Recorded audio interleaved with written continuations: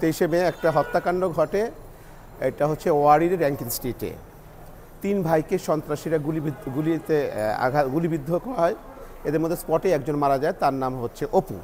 আর দুই ভাই হচ্ছে সেতু এবং বাপ্পি, তারা খুব সিরিয়াসলি বুলেট ইঞ্জুরি হয়।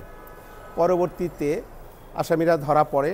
তাদের মধ্যে একজন যে মাস্টার মাইন্ড, নাম হচ্ছে ইফতেখার বেগ ঝলক। সে একটা স্বীকারোক্তিমূলক জবানবন্দি দেয়। যদিও সে সেই স্বীকারোক্তিমূলক জবানবন্দি নিজেকে জড়িয়ে দেয় না, বাট কিলারদের সঙ্গে তার একটা কথোপকথন প্রিভিয়াস যে বিভিন্ন কথোপকথন, যে বাড়ি নিয়ে এই ঘটনা একটা চাইনিজ রেস্টুরেন্ট করেছিল আসামিরা, তাদের চাইনিজ রেস্টুরেন্টের মাধ্যমে তারা এই বাড়িটা দখল করতে চেয়েছিল। এইভাবে তারা এন্ট্রি হয় তাদের এই ঘটনায়। সেখানে কিলারদের সঙ্গে তাদের ওই ওই কনফেশনে বিভিন্ন কথোপকথন হয়।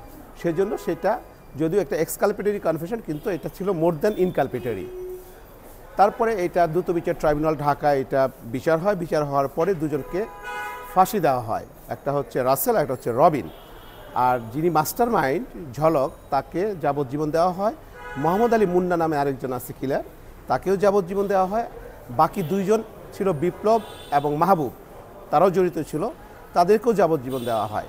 পরবর্তীতে দুইজন পলাতক ছিল, এখন অবধি পলাতক, মাহবুব এবং বিপ্লব। এই সমস্ত আসামি আসামিদের, সাজাপ্রাপ্ত আসামিদের মধ্যে চারজন হাইকোর্টে আপিল করেন, রাষ্ট্রপক্ষ থেকে ডেথ রেফারেন্স হয়।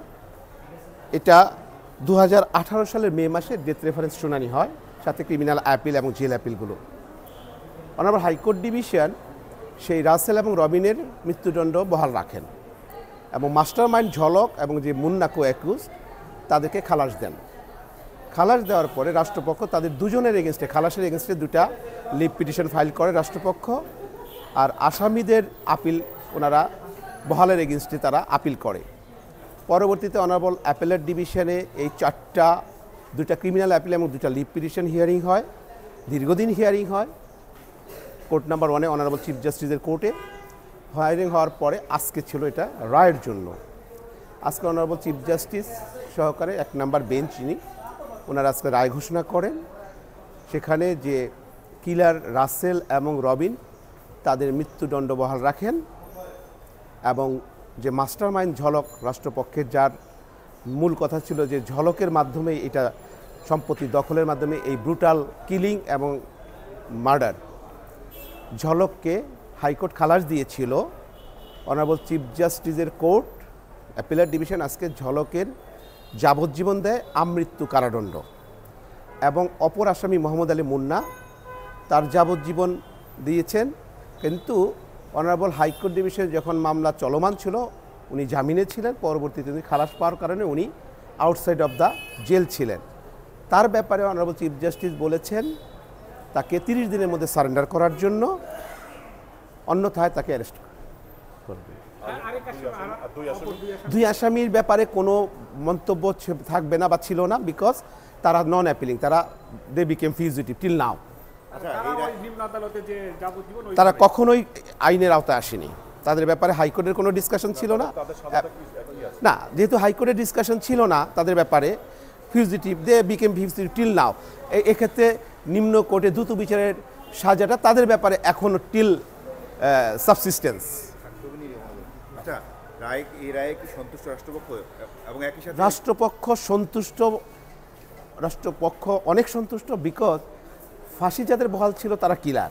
কিন্তু যে যে, যে- ছিল পিছনে মাস্টার মাইন্ড, যাকে অনার হাইকোর্ট ডিভিশন খালাস দিয়েছেন, তার ব্যাপারে রাষ্ট্রপক্ষ কনসার্ন বেশি ছিলেন। রাষ্ট্রপক্ষ তাদের আমার মনে হয় এটা অ্যাচিভ হয়েছে বিকজ তার শুধু যাবজ্জীবন বহাল না, খালাস থেকে বহাল না, তাকে আমৃত্যু দেওয়া হয়েছে। আচ্ছা এই মামলায় তো আসামি একটা পলিটিক্যাল কালার দেওয়ার চেষ্টা করেছিলেন। আপনারা কিন্তু এটা স্ট্রংলি অপোজ করেছেন।